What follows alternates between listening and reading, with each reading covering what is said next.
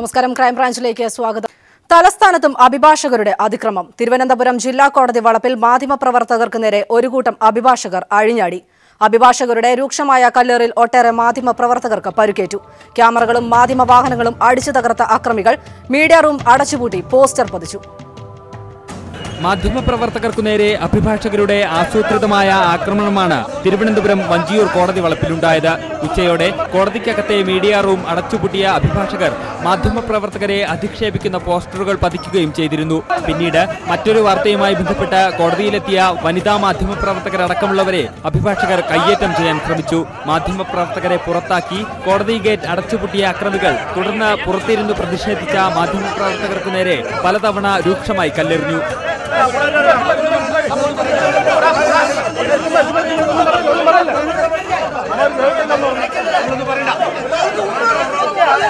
അല്പസമയത്തിനകം സമവായ ചർച്ച നടക്കുന്നതിനിടെ കോടതി വളപ്പിൽ നിന്നും മദ്യപിച്ച അഭിഭാഷകർ പുറത്തേക്ക് മദ്യക്കുപ്പികളും ട്യൂബ് ലൈറ്റുകളും വലിയ കല്ലുകളും വലിച്ചെറിഞ്ഞു.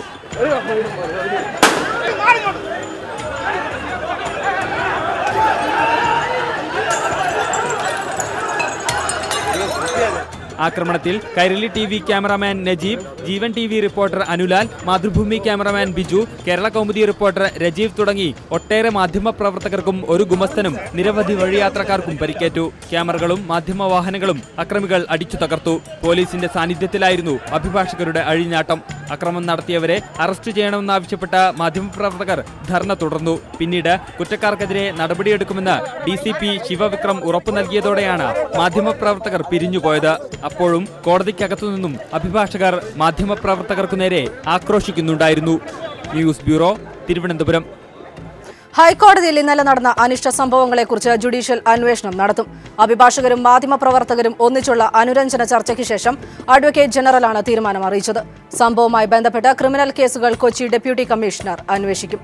ഹൈക്കോടതിയിലെ മീഡിയ റൂം തുറക്കുന്ന കാര്യം ചീഫ് ജസ്റ്റിസ് തീരുമാനിക്കുമെന്നും A G C P Sudhakara Prasad അറിയിച്ചു. ഹൈക്കോടതിയിൽ കഴിഞ്ഞ ദിവസം അഭിഭാഷകർ മാധ്യമപ്രവർത്തകരെ ആക്രമിച്ചതിനെ തുടർന്നുണ്ടായ പ്രശ്നങ്ങൾ പരിഹരിക്കുന്നതിനാണ് advocate general C P Sudhakara Prasad മാധ്യമപ്രവർത്തകരെയും അഭിഭാഷകരെയും അനുരഞ്ജന ചർച്ചയ്ക്ക് വിളിച്ചത്. മാധ്യമപ്രവർത്തകരെ ആക്രമിച്ച സംഭവത്തിൽ നടപടിയെടുക്കണമെന്ന് ചർച്ചയിൽ പങ്കെടുത്ത മാധ്യമപ്രതിനിധികൾ ആവശ്യപ്പെട്ടു. ഇന്നലെ നടന്ന അനിഷ്ട സംഭവങ്ങളും ഇതിലേക്ക് നയിച്ച കാരണങ്ങളെക്കുറിച്ചും ജുഡീഷ്യൽ അന്വേഷണം നടത്താൻ തീരുമാനിച്ചതായി A G C P Sudhakara Prasad അറിയിച്ചു. ഇരുപത് ഏഴ് രണ്ടായിരത്തി പതിനാറിലുണ്ടായ അനിഷ്ട സംഭവങ്ങളെപ്പറ്റി അതിനുള്ള സാഹചര്യങ്ങളെപ്പറ്റി ഒരു ജുഡീഷ്യൽ അന്വേഷണം നടത്താൻ തീരുമാനിച്ചു. ക്രിമിനൽ കേസുകളുടെ ഓർ അന്വേഷണത്തിന്റെ ചുമതല എറണാകുളം ഡി സി പിയെ ഏൽപ്പിക്കാനും തീരുമാനിച്ചു. ഹൈക്കോടതിക്കകത്ത് നടന്ന അക്രമ സംഭവങ്ങളെക്കുറിച്ച് ചീഫ് ജസ്റ്റിസ് അന്വേഷിക്കും. ഹൈക്കോടതിയിൽ സ്വതന്ത്രമായി വാർത്തകൾ റിപ്പോർട്ട് ചെയ്യാൻ മാധ്യമപ്രവർത്തകർക്ക് അവസരമൊരുക്കാൻ ശ്രമം നടത്തുമെന്ന് അഭിഭാഷക അസോസിയേഷൻ പ്രതിനിധികൾ അറിയിച്ചു. അതേസമയം കോടതിക്കകത്തെ മീഡിയ റൂമിന് മുന്നിൽ ശൗചാലയം എന്നെഴുതി വെച്ച് അഭിഭാഷകർ പ്രകോപനം തുടർന്നു. മീഡിയ റൂം തുറക്കുന്ന കാര്യത്തിൽ ചീഫ് ജസ്റ്റിസ് എടുക്കുന്ന തീരുമാനം ഇരുകൂട്ടരും അംഗീകരിക്കാനും ചർച്ചയിൽ തീരുമാനമായി. News bureau Kochi. ഹൈക്കോടതിയിൽ മാധ്യമപ്രവർത്തകരെ മർദ്ദിച്ച സംഭവത്തിൽ പ്രതിഷേധിച്ച് പത്രപ്രവർത്തക യൂണിയൻ കോഴിക്കോട് ജില്ലാ കമ്മിറ്റിയുടെ നേതൃത്വത്തിൽ പ്രതിഷേധ പ്രകടനം നടത്തി. പ്രസ് ക്ലബിൽ നിന്ന് ആരംഭിച്ച കിഡ്സ് ആൻഡ് കോർണറിൽ പ്രതിഷേധ പ്രകടനം അവസാനിച്ചു. Press club secretary N Rajesh president Kamal Varadoor treasurer Vipulnath തുടങ്ങിയവർ നേതൃത്വം നൽകി.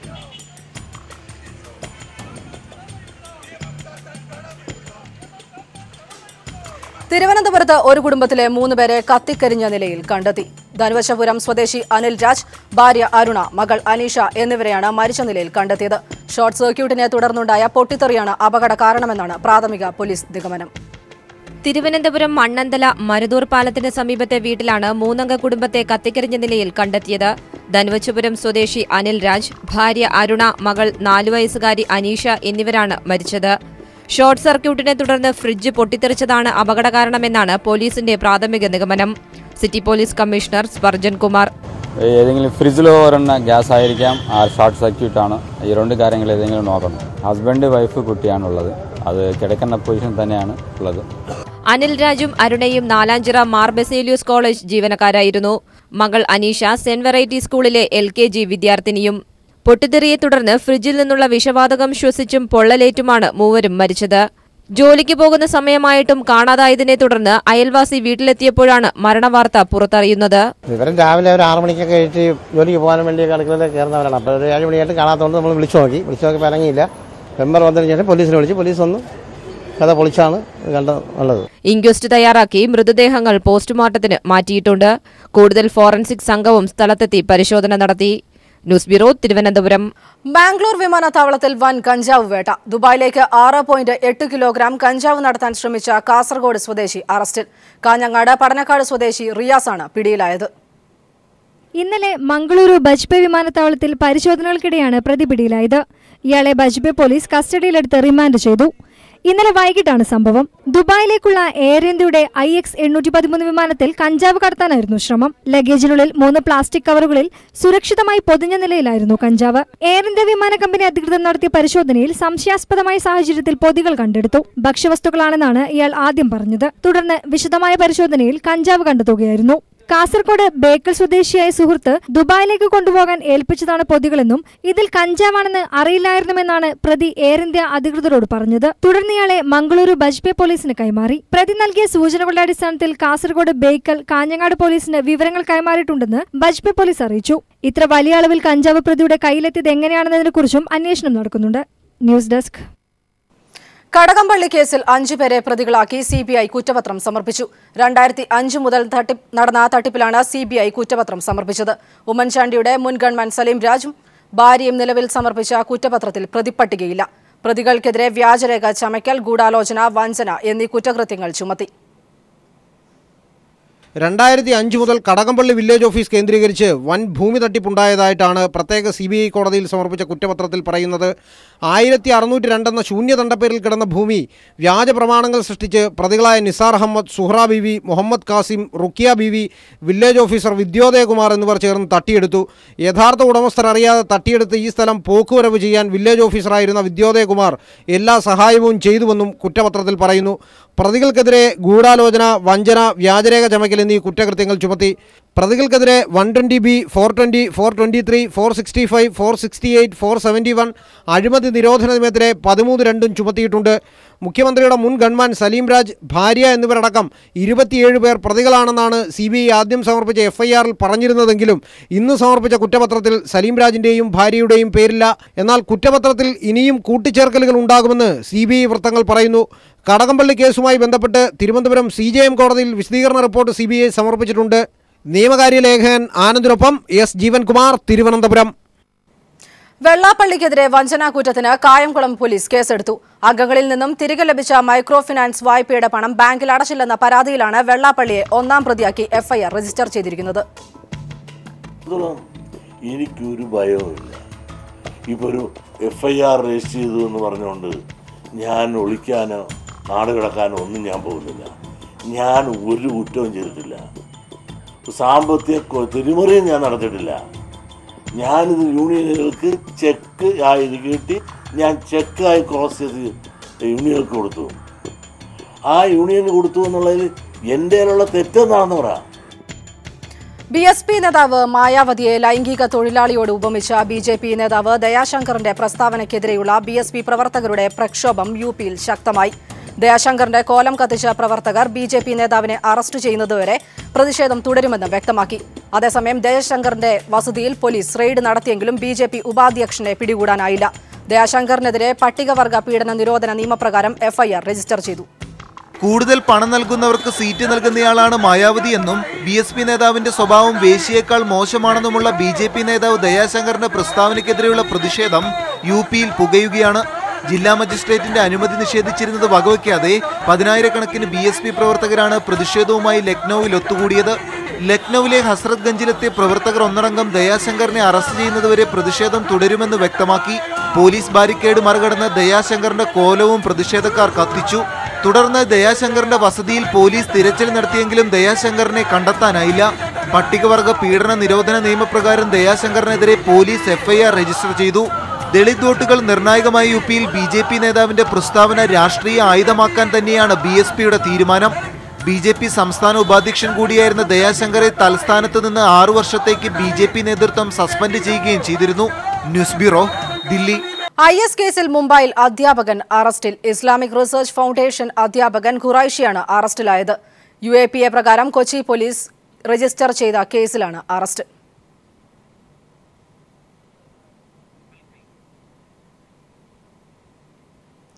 ക്രൂരതയുടെ പര്യായമായിട്ടാണ് ഇസ്ലാമിക് സ്റ്റേറ്റ് ഭീകരരെ കണക്കാക്കി വരുന്നത്. മൃഗങ്ങൾ പോലും ചെയ്യാത്ത ക്രൂരതയാണ് അവർ എന്നും ചെയ്തുകൊണ്ടിരിക്കുന്നത്. എന്നാൽ ഇക്കാര്യത്തിൽ ഐ എസിനെ കടത്തിവെട്ടുന്ന കൊടും ക്രൂരതയാണ് അമേരിക്ക പിന്തുണയ്ക്കുന്ന സിറിയൻ റിബലുകൾ ഇപ്പോൾ ചെയ്തിരിക്കുന്നത്. ക്രൂരതയുടെ പര്യായമായാണ് ഇസ്ലാമിക് സ്റ്റേറ്റ് ഭീകരരെ കണക്കാക്കുന്നത്. എന്നാൽ ഇക്കാര്യത്തിൽ ഐസിസിനെ കടത്തിവിട്ടുന്ന കൊടുംക്രൂരതയാണ് അമേരിക്ക പിന്തുണയ്ക്കുന്ന സിറിയൻ റിബലുകൾ ഇപ്പോൾ ചെയ്തിരിക്കുന്നത്.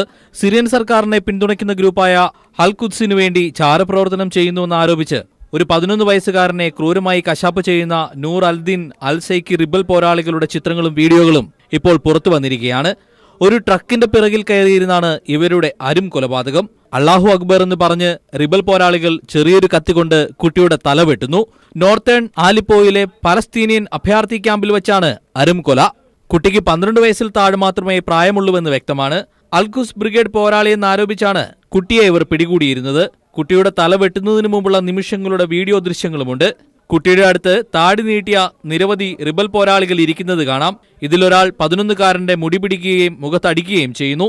തുടർന്ന് കുട്ടിയെ ക്രൂരമായി മർദ്ദിക്കുന്നുമുണ്ട്. പിന്നീട് കുട്ടിയുടെ കൈകൾ പിറകിൽ ബന്ധിക്കുന്നു. തുടർന്ന് കൊലയാളിക്ക് കൂടെയുള്ളയാൾ ഒരു ചെറിയ കത്തി കൈമാറുന്നു. തൊട്ടടുത്ത നിമിഷം ആ കത്തി അയാൾ കുട്ടിയുടെ ചങ്കിലേക്ക് ആഴ്ത്തിയിറക്കി ജീവനെടുക്കുന്ന ദൃശ്യങ്ങളാണ് പുറത്തുവന്നത് സിറിയൻ പ്രസിഡന്റ് ആസാദിനെതിരെ പോരാടുന്ന റിബലുകളാണ് Nour Aldin Alzenki Islamic Front Free Syrian Army തുടങ്ങിയ ഗ്രൂപ്പുകളുമായും ഇവർക്ക് അടുത്ത ബന്ധമുണ്ട്. യു എസ് സർക്കാർ ഇവർക്ക് പണവും ആന്റി ടാങ്ക് മിസൈലുകളും നൽകുന്നെന്നാണ് ആരോപണം. News desk. ജർമ്മനിയിൽ കഴിഞ്ഞ ദിവസം ട്രെയിനിൽ ആളുകളെ വെട്ടിപ്പരിക്കേൽപ്പിച്ച കൗമാരക്കാരന്റെ വീഡിയോ ഐ എസ് പുറത്തുവിട്ടു. ആക്രമണത്തിന് മുൻപ് ഭീഷണി മുഴക്കുന്ന കൗമാരക്കാരന്റെ വീഡിയോയാണ് ഇസ്ലാമിക് സ്റ്റേറ്റ് ഭീകരർ പുറത്തുവിട്ടത്. അവിശ്വാസികളുടെ രാജ്യങ്ങൾക്കെതിരെ ആക്രമണം തുടരുമെന്നാണ് പതിനേഴ് വയസ്സുകാരനായ അഫ്ഗാൻ അഭയാർത്ഥി ബാലൻ മുഹമ്മദ് റിയാദ് പറയുന്നത്. ഐ എസിന്റെ വാർത്താ ഏജൻസി എന്നറിയപ്പെടുന്ന അമക് ന്യൂസ് ഏജൻസിയാണ് ആക്രമണത്തിന് മുമ്പുള്ള ഭീഷണി ഓഡിയോ പുറത്തുവിട്ടത്. കയ്യിൽ കത്തിയുമായി അഫ്ഗാനി ഭാഷയിലാണ് മുഹമ്മദ് റിയാദ് ഭീഷണി മുഴക്കുന്നത്. ജർമ്മനിയിൽ ആക്രമണം നടത്തുമെന്നും എല്ലാ അവിശ്വാസികളുടെ രാജ്യങ്ങളും കരുതിയിരിക്കാനുമാണ് വീഡിയോയിൽ കൗമാരക്കാരൻ പറയുന്നത്. ഖിലാഫത്തിലെ പോരാളി എന്നാണ് ഈ ബാലൻ സ്വയം പരിചയപ്പെടുത്തുന്നത്.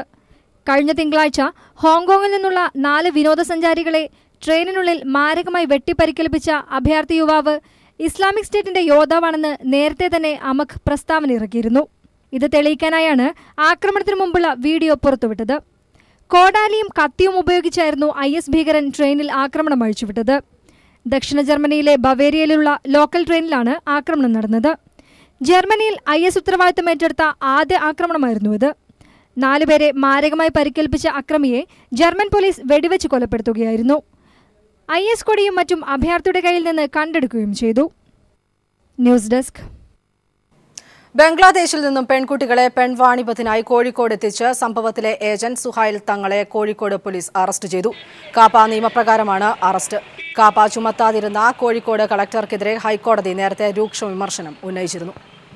ദില്ലി മയൂർ വിഹാറിൽ പാൻ മസാല ജീവനക്കാരുടെ മർദ്ദനത്തിൽ കൊല്ലപ്പെട്ട മലയാളി വിദ്യാർത്ഥിനി ക്ഷമിക്കണം വിദ്യാർത്ഥി രജത്തിന്റെയും സ്വന്തം ഫ്ളാറ്റിൽ കുത്തേറ്റ് മരിച്ച ആലുവ സ്വദേശി വിജയകുമാറിന്റെയും കുടുംബാംഗങ്ങളെ മന്ത്രി കടകംപള്ളി സുരേന്ദ്രൻ സന്ദർശിച്ചു. ദില്ലിയിൽ മലയാളികൾക്ക് സമാധാനപരമായ ജീവിതം നയിക്കാനുള്ള സാഹചര്യം കേന്ദ്ര സർക്കാർ ഒരുക്കണമെന്ന് മന്ത്രി വ്യക്തമാക്കി. സജീവമായിട്ടുള്ള ഇടപെടലുകൾ നടത്തണം. മലയാളികളുടെ സുരക്ഷ ഉറപ്പാക്കാൻ ആവശ്യമായിട്ടുള്ള നടപടി സ്വീകരിക്കണം. ജനങ്ങളുടെ മനസ്സിൽ ഉള്ള ഭീതി അകറ്റി അവർക്ക് നിർഭയമായി ജീവിക്കാൻ കഴിയുന്നതായിട്ടുള്ള അന്തരീക്ഷം ഉണ്ടാക്കണം. എങ്ങനെ? കേരള റോഡ് സുരക്ഷ അതോറിറ്റിയുടെ ഫണ്ട് വിനിയോഗത്തിൽ വൻ ക്രമക്കേടെന്ന് അക്കൗണ്ടന്റ് ജനറലിന്റെ റിപ്പോർട്ട്. കഴിഞ്ഞ എട്ട് വർഷത്തിനിടെ ആദ്യമായി നടന്ന ഓഡിറ്റിംഗിലാണ് വകമാറ്റി ചെലവഴിച്ചതടക്കം ക്രമക്കേടുകൾ നടന്നുവെന്ന് കണ്ടെത്തിയിരിക്കുന്നത്. രണ്ടായിരത്തി ഏഴിൽ നിലവിൽ വന്ന റോഡ് സുരക്ഷാ നിയമം ലംഘിച്ചാണ് പണം വിനിയോഗിച്ചിരിക്കുന്നത് എന്നാണ് അക്കൗണ്ടന്റ് ജനറൽ നടത്തിയ ഓഡിറ്റിംഗിൽ കണ്ടെത്തിയിരിക്കുന്നത്. പൊതുമരാമത്ത് വകുപ്പ് ചെയ്യേണ്ട പല പ്രവൃത്തികളും നടത്തിയിരിക്കുന്നത് റോഡ് സുരക്ഷാ അതോറിറ്റി ഫണ്ട് ഉപയോഗിച്ചാണ്. കഴിഞ്ഞ മാർച്ച് വരെ നൂറ്റി എൺപത്തിയേഴ് പദ്ധതികൾക്കായി നൂറ്റി ഇരുപത്തിയേഴ് ദശാംശം നാല് ഏഴ് കോടി രൂപയാണ് അതോറിറ്റി ഉപയോഗിച്ചിരിക്കുന്നത് എന്നും ഇതിൽ വലിയ ക്രമക്കേട് നടന്നിട്ടുണ്ട് എന്നുമാണ് അഡ്വക്കേറ്റ് ഡി ബി ബിനുവിന് ലഭിച്ച വിവരാവകാശ രേഖകൾ സാക്ഷ്യപ്പെടുത്തുന്നത്. ചെലവഴിച്ച തുകയാവട്ടെ ക്രമവിരുദ്ധമായി തന്നെയാണ് ചെലവഴിച്ചതെന്നും ഈ രേഖകൾ വ്യക്തമാക്കുന്നു. ചീഫ് സെക്രട്ടറിയുടെ ഗൺമാന് മൊബൈൽ ഫോൺ ചാർജ് ചെയ്യാൻ വരെ ഈ അതോറിറ്റിയുടെ ഫണ്ട് ഉപയോഗിച്ചു. ട്രാൻസ്പോർട്ട് കമ്മീഷണറുടെ ഔദ്യോഗിക വസതിയിലേക്ക് ടൈൽസ് ഇട്ട റോഡ് നിർമ്മിക്കുന്നതിന് വേണ്ടി ഉപയോഗിച്ചു. അതുപോലെ ഇത് ഈ അമിത വേഗത്തിൽ വരുന്ന വാഹനങ്ങളെ കണ്ടെത്തുന്നതിന് വേണ്ടി ഇന്റർസെപ്റ്റർ വാങ്ങാനുള്ള ആ തുക. ആ വാഹനം വാങ്ങിയതിന് ശേഷം ക്യാമറ അതിൽ ഘടിപ്പിക്കാതെ ഐ ജിമാരും ഡി ഐ ജിമാരും അവരുടെ ഓഫീസിൽ നിന്ന് വീട്ടിലേക്ക് പോകുന്നതിന് ഈ വാഹനം ഉപയോഗിച്ചു. ചുരുക്കത്തിൽ വ്യാപകമായ ക്രമക്കേടുകളാണ് ഈ ഈ അതോറിറ്റിയുടെ പ്രവർത്തനത്തിലും ഫണ്ട് വിനിയോഗത്തിലും കാണുന്നത്. മാസ്റ്റർ പ്ലാൻ തയ്യാറാക്കിയതെയാണ് കഴിഞ്ഞ എട്ട് വർഷത്തിലധികമായി പണം വിനിയോഗിച്ചുകൊണ്ടിരിക്കുന്നത് എന്നും റിപ്പോർട്ടിൽ പറയുന്നു. News bureau Kochi. പകർച്ചവ്യാധികൾ പടർന്നു പിടിക്കുന്ന സാഹചര്യത്തിൽ കോഴിക്കോട്ടെ ഭക്ഷണശാലകളിൽ ഭക്ഷ്യ സുരക്ഷാ വകുപ്പിന്റെ പരിശോധന. വൃത്തിഹീനമായ സാഹചര്യത്തിൽ പ്രവർത്തിച്ച മൂന്ന് സ്ഥാപനങ്ങൾക്ക് അടച്ചുപൂട്ടാൻ നിർദ്ദേശം നൽകി. നേരത്തെ നൽകിയ മുന്നറിയിപ്പ് അവഗണിച്ച സ്ഥാപനങ്ങൾക്കെതിരെ കേസ് ഫയൽ ചെയ്യുമെന്ന് ജില്ലാ ഭക്ഷ്യസുരക്ഷാ വകുപ്പ് പറഞ്ഞിരുന്നു. കുപ്പത്തൊട്ടിയേക്കാൾ കഷ്ടമെന്ന് വിവരിച്ചാലും മതിയാകില്ല. ആഹാര സാധനങ്ങൾ മൊത്തമായി ഉണ്ടാക്കി വിതരണം ചെയ്യുന്ന ചില സ്ഥാപനങ്ങളെ തൊഴുത്തായി ഉപയോഗിച്ചിരുന്നിടത്താണ് ഈ ഭക്ഷണ നിർമ്മാണശാല. തൊട്ടടുത്ത് കാലിത്തൊഴുത്തും മുറിയിൽ ചീഞ്ഞളിഞ്ഞു നാറുന്ന ഉരുളക്കിഴങ്ങും. കൂട്ടത്തിൽ നല്ലതെന്ന് അവർക്ക് തോന്നിയത് തിരഞ്ഞെടുത്തു വെച്ചിട്ടുണ്ട്. ഇതുപയോഗിച്ചുണ്ടാക്കുന്ന പലഹാരങ്ങളാണ് നഗരത്തിലെ മിക്ക ഹോട്ടലുകളിലേക്കും കൂൾബാറുകളിലേക്കും വിതരണം ചെയ്യുന്നത്. വൃത്തിഹീനമായ സാഹചര്യത്തിൽ പ്രവർത്തിക്കുന്ന സ്ഥാപനങ്ങൾ അടച്ചുപൂട്ടാൻ നിർദ്ദേശം നൽകിയതായി റെയ്ഡിന് നേതൃത്വം നൽകിയ ജില്ലാ ഭക്ഷ്യസുരക്ഷാ അസിസ്റ്റന്റ് കമ്മീഷണർ ഏലിയാമ പറഞ്ഞു. നിരന്തരം നോട്ടീസുകൾ നൽകിയിട്ടും ഇൻസ്പെക്ഷനും മറ്റ് കാര്യങ്ങളും നടത്തിയിട്ടും ശരിയാകാത്ത ഈ യൂണിറ്റ് പോലെയുള്ള ചില സ്ഥാപനങ്ങൾക്കെതിരെ കേസ് ഫയൽ ചെയ്യാൻ പോവുകയാണ് ഞങ്ങൾ അതുപോലെ തന്നെ ഇനി മുന്നോട്ട് ഫുഡ് സേഫ്റ്റി ആൻഡ് സ്റ്റാൻഡേർഡ്സ് ആക്ടിലെ മാനദണ്ഡങ്ങൾ പാലിച്ചുകൊണ്ടല്ലാതെ സ്ഥാപനങ്ങൾ നടത്താൻ ഞങ്ങൾ എന്ത് തന്നെയായാലും സമ്മതിക്കില്ല കോഴിക്കോട് സിറ്റിക്കകത്ത്. പകർച്ചവ്യാധികൾ പടർന്നു പിടിക്കുന്ന സാഹചര്യത്തിൽ വരും ദിവസങ്ങളിലും റെയ്ഡ് തുടരും. നോട്ടീസ് നൽകിയ ശേഷവും പ്രവർത്തിക്കുന്നത് ശ്രദ്ധയിൽപ്പെട്ടാൽ സ്ഥാപനങ്ങൾക്കെതിരെ കേസ് ഫയൽ ചെയ്യുകയാണ് തുടർ നടപടി. News bureau Kozhikode. കേരള ആരോഗ്യ ശാസ്ത്ര സർവകലാശാലയിലെ ക്രമക്കേടിൽ വിജിലൻസ് ത്വരിത പരിശോധനയ്ക്ക് ഉത്തരവിട്ടു. തൃശൂർ വിജിലൻസ് കോടതിയുടേതാണ് ഉത്തരവ്. സർവകലാശാല മുൻ vice chancellor pro V C ഉൾപ്പെടെ അഞ്ചു പേരാണ് പ്രതിസ്ഥാനത്തുള്ളത്. സർവകലാശാലയിലെ നിയമനം പ്രവേശനം എന്നിവയിലെ ക്രമക്കേട് പീപ്പിൾ ടിവിയാണ് പുറത്തുവിട്ടത്. കേരള ആരോഗ്യ ശാസ്ത്ര സർവകലാശാലയിൽ രണ്ടായിരത്തി പതിനൊന്ന് പന്ത്രണ്ട് സാമ്പത്തിക വർഷത്തിലെ വ്യാപക ക്രമക്കേടിലാണ് തൃശൂർ വിജിലൻസ് കോടതി ത്വരിത പരിശോധനയ്ക്ക് ഉത്തരവിട്ടത്. സർവകലാശാലയിലെ നിയമനത്തിലും പ്രവേശനത്തിലും ക്രമക്കേട് നടന്നതായി കോടതി വിലയിരുത്തി. ആരോഗ്യ ശാസ്ത്ര സർവകലാശാല മുൻ vice chancellor doctor K Mohandas ഉൾപ്പെടെ അഞ്ചുപേരാണ് പ്രതിസ്ഥാനത്തുള്ളത്. മുൻ pro V C doctor C Ratnakaran registrar V Ipe Varghese finance officer G Gopakumar പരീക്ഷാ കൺട്രോളർ ടി കെ സുധീർ എന്നിവരാണ് പ്രതിസ്ഥാനത്തുള്ള മറ്റുള്ളവർ. രണ്ടായിരത്തി പതിനൊന്ന് പന്ത്രണ്ട് കാലഘട്ടത്തിലെ മുഴുവൻ അഴിമതിയും അന്വേഷിക്കാനാണ് ഉത്തരവ്. എത്രയും പെട്ടെന്ന് അന്വേഷണ റിപ്പോർട്ട് സമർപ്പിക്കാനും തൃശൂർ വിജിലൻസ് കോടതി നിർദ്ദേശിച്ചു. വിജിലൻസ് ഡിവൈഎസ്പി എ രാമചന്ദ്രനാണ് അന്വേഷണ ചുമതല. പീപ്പിൾ ടിവിയാണ് കേരള ആരോഗ്യ സർവകലാശാലയിലെ ക്രമക്കേടുകളെക്കുറിച്ചുള്ള വാർത്ത പുറത്തുവിട്ടത്. വ്യക്തികൾക്കനുസൃതമായി തസ്തികകളും യോഗ്യതകളും ശമ്പള സ്കെയിലും സൃഷ്ടിച്ച് നിയമനം നടത്തി. സർവകലാശാലയിലെ വിവിധ കോഴ്സുകളുടെ പ്രവേശനവുമായി ബന്ധപ്പെട്ട് ആറ് കോടിയുടെ നഷ്ടം സർവകലാശാലയ്ക്ക് ഉണ്ടാക്കി എന്നുള്ളവയായിരുന്നു പ്രധാന ക്രമക്കേടുകൾ. രണ്ടായിരത്തി പതിനൊന്ന് പന്ത്രണ്ട് സാമ്പത്തിക വർഷത്തെ ഓഡിറ്റ് റിപ്പോർട്ടിലും കേരള ആരോഗ്യ ശാസ്ത്ര സർവകലാശാലയിൽ വ്യാപക ക്രമക്കേട് കണ്ടെത്തിയിരുന്നു. എസ് ഷീജ തിരുവനന്തപുരം. കണ്ണൂർ നഗരത്തെ മുഴുവൻ ഞെട്ടിച്ച് യുവാവിന്റെ ആത്മഹത്യാ ഭീഷണി. താലൂക്ക് ഓഫീസിന് മുന്നിലെ മരത്തിൽ കയറിയാണ് യുവാവ് കഴുത്തിൽ കയറിട്ട് ആത്മഹത്യാ ഭീഷണി മുഴക്കിയത്. ഇതോടുകൂടി ഇന്നത്തെ ക്രൈംബ്രാഞ്ച് അവസാനിക്കുന്നു. നമസ്കാരം.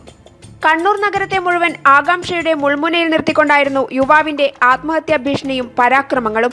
താലൂക്ക് ഓഫീസിന് മുന്നിലുള്ള ഏഴിലമ്പാലയിൽ കയറി കഴുത്തിന് കുരുക്കിട്ട് ഒന്നര മണിക്കൂർ നേരമായിരുന്നു ഫയർഫോഴ്സിനെയും പോലീസുകാരെയും യുവാവ് വലച്ചത്. നാട്ടുകാരും ആർപ്പുവിളികളും ഭീഷണികളും അനുനയ സ്വരങ്ങളുമായി ചുറ്റും കൂടി മട്ടന്നൂർ വിമാനത്താവളത്തിൽ എൽ എൻ ടി കമ്പനി മുഖേന കരാർ ജോലിക്കെത്തിയതായിരുന്നു കോട്ടയം സ്വദേശിയായ യുവാവ്. കരാർ കഴിഞ്ഞതോടെ ജോലിയും അവസാനിച്ചു. വീണ്ടും ജോലിക്കെടുക്കണമെന്ന ആവശ്യവുമായാണ് ആത്മഹത്യാ ഭീഷണിയുമായി മരത്തിൽ കയറിയത്. ജോലി തരാമെന്നും മറ്റും പറഞ്ഞ് അനുനയത്തിൽ ഫയർഫോഴ്സ് അടുത്തെത്തിയതോടെ മരത്തിൽ നിന്ന് ഊർന്നിറങ്ങി ഓടാൻ ശ്രമിച്ച യുവാവിനെ പോലീസും ഫയർഫോഴ്സും പിടികൂടുകയായിരുന്നു. പിന്നീട് യുവാവിനെ ബന്ധപ്പെട്ടവരെ ഏൽപ്പിച്ചു. News bureau Kannur.